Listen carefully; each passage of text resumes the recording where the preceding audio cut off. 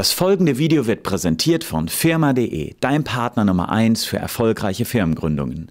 Auf dem firma.de Marktplatz bekommst du für deine Firma alles aus einer Hand. Hier kannst du dein Gründungspaket und weitere Bausteine wie Buchhaltung einfach online buchen und schnell durchstarten. Herzlich willkommen bei Venture TV. Herzlich willkommen, Tom Bachem. Tom, wir haben mal wieder das Vergnügen. Es ist eine Weile her, dass wir uns zum letzten Mal zum Interview getroffen haben. Das war in Köln, im Stadion. Da, wo du eigentlich herkommst, ja, bist ja Kölner. Jetzt stehen wir gerade in Berlin. Du bist ziemlich oft hier.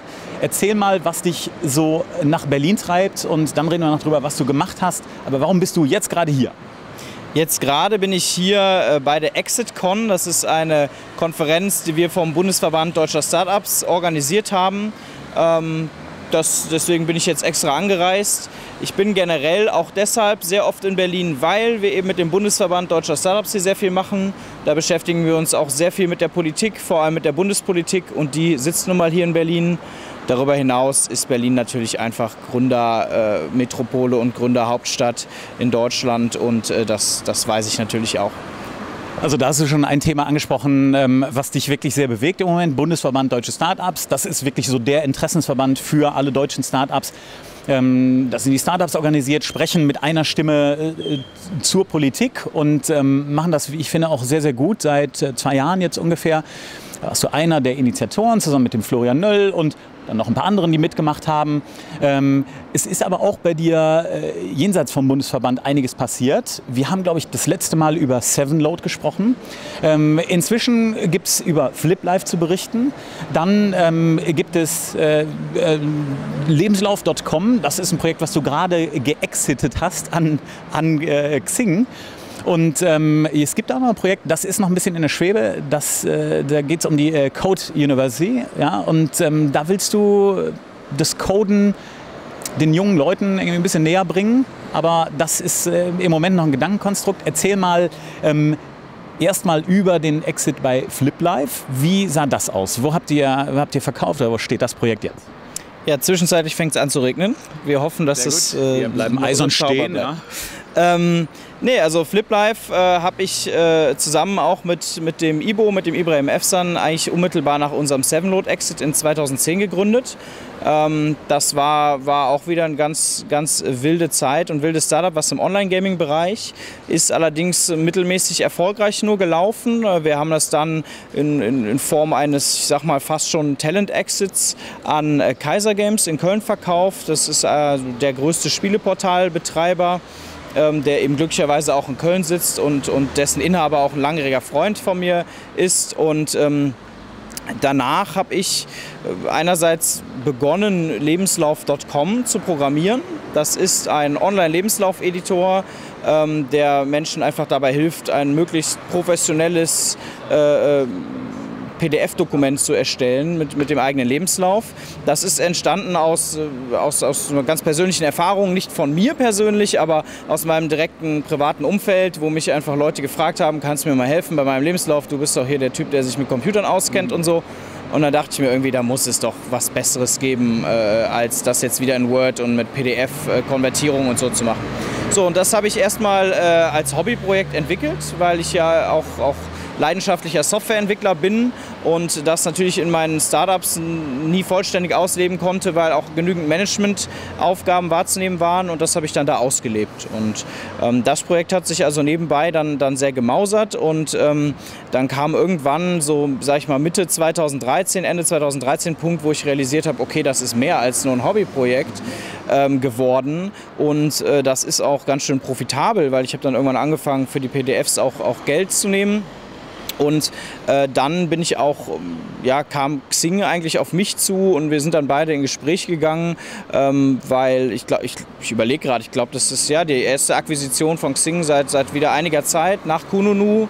Davor gab es nur Amiando, ähm, weil wir einfach gesehen haben, dass es da einen super Fit gibt, ja. super viele Synergien gibt und so weiter und so fort. Ja. Sagt ihr irgendwas über den Kaufpreis? Ja, also der, der hängt wie, wie so oft von einigen Meilensteinen ab und Earnout basiert und so. Ähm, in der Presse war, glaube ich, manchmal sechsstellig zu lesen. Ähm, je nachdem, wie der Earnout ausfällt, und ich bin da sehr, sehr optimistisch, äh, wird das äh, nicht sechsstellig bleiben. Okay, alles klar. Ja, das war schon ganz solide für ein Projekt, was irgendwie dann doch nur so ein bisschen als Hobby angefangen hat und so. Ja, vor allem ohne Investoren ja. und, und ohne Mitarbeiter. Das war gar nicht mitgekriegt, hast du schön nebenbei dran gebaut, ohne, ohne dass man es groß im Markt gemerkt hat. Ja, da waren, glaube ich, echt viele überrascht. Ähm, dass, äh, genau, also äh, ganz interessant ist, dass viele auf mich zukamen danach und mir sagten, ach, ich wusste gar nicht, dass das von dir ist. Ich habe das schon dreimal benutzt oder so aber mir war gar nicht klar, dass es von dir ist. Und ich habe auch, da ich ja auch als sozusagen One-Man-Company in dem Fall auch den Support äh, vollständig selbstständig gemacht habe, ähm, habe ich auch öfters Support-E-Mails bekommen von Leuten, die ich kannte. Ja. Äh, das war ganz witzig. Und dann habe ich immer zurückgeschrieben, ja, hi, Tom hier, übrigens Projekt von mir, ähm, interessanter Lebenslauf, by the way. Ähm, hier, ich habe dir mal geholfen. Und, und die Leute waren dann immer, ich glaube zwar positiv, aber immer etwas erschrocken. So. ja, das hört sich ja gut an, finde ich. Ähm, ich würde dir gerne noch mal eine Frage zu FlipLife stellen. Ihr habt da ja ähm, wirklich euch in ein Terrain vorgewagt, was, als ihr es gestartet habt, sehr, sehr heiß war. Online-Games, jeder wollte es machen, da gab es riesen Finanzierungsrunden.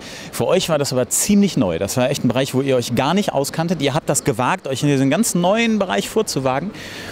Ähm, würdest du das nochmal machen, so aus heutiger Perspektive, dir so einen Bereich zu suchen, wo du äh, erstmal nicht viel Ahnung von hast? Oder ähm, würdest du sagen, nee, das hat sich jetzt auch nicht so sehr positiv entwickelt, eben weil wir keine lang, langzeitige Erfahrung hatten? Also grundsätzlich würde ich das auf jeden Fall wieder machen, in Bereiche zu gehen, von denen ich noch keine Ahnung habe. Ich glaube, das, das gehört zum Unternehmertum dazu. Ich würde aber das nicht mehr im Spielebereich machen. Okay. Ähm, weil tatsächlich ähm, der Spielebereich sehr, ja man sagt ja so schön, hit-driven ist.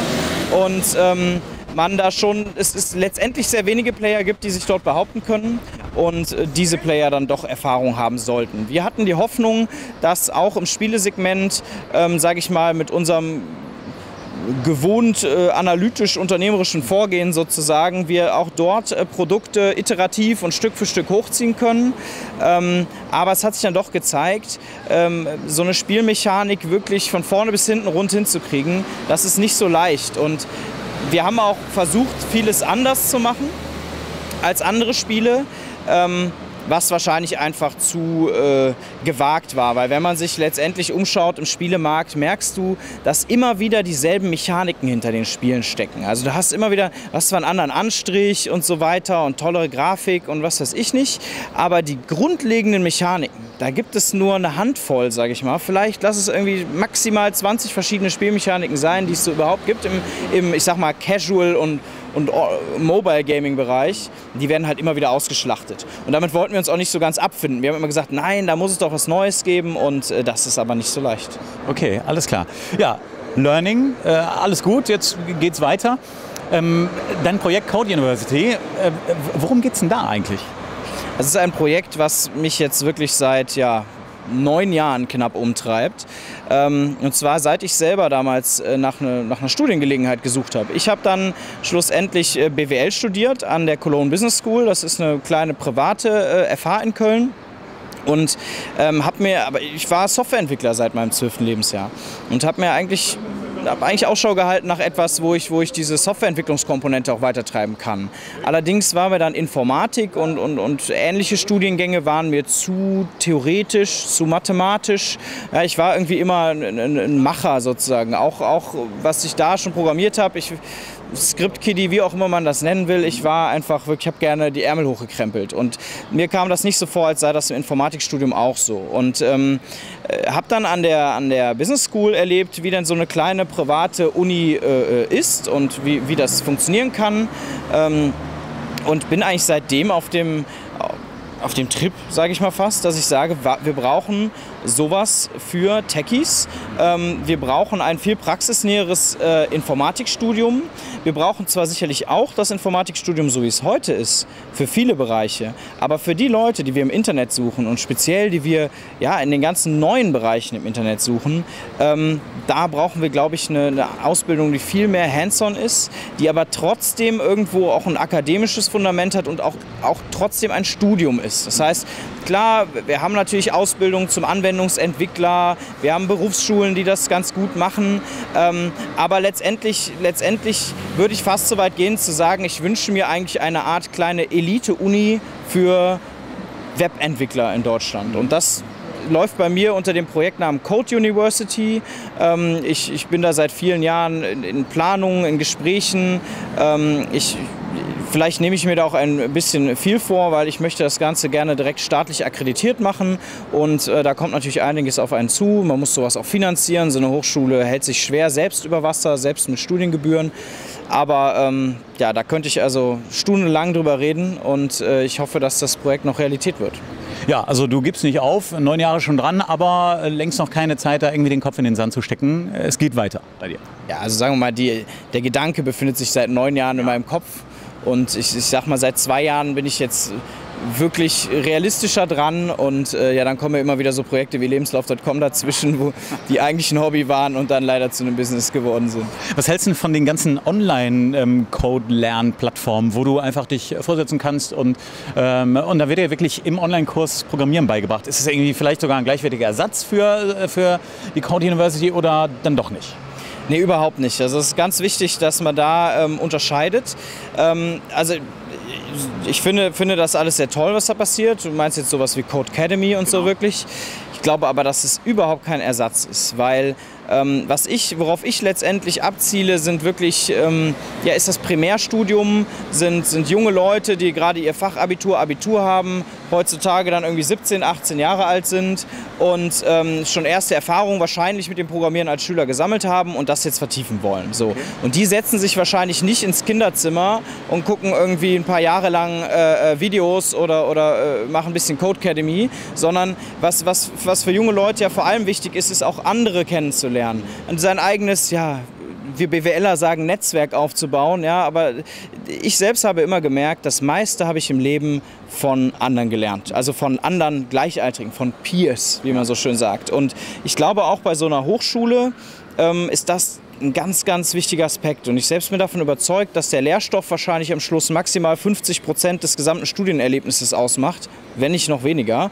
Und dass das Wichtigste ist, die Leute zusammenzubringen und zu vernetzen. Auch zum Beispiel gebietsübergreifend zu vernetzen. Also ich will gerne nicht nur Softwareentwickler, sondern auch ähm, Designer und auch irgendwo äh, Produktentwickler, Softwaremanager, wie auch immer, äh, zusammenbringen. Und ich glaube, diese Kombination die, die trägt dann halt ganz besondere Früchte.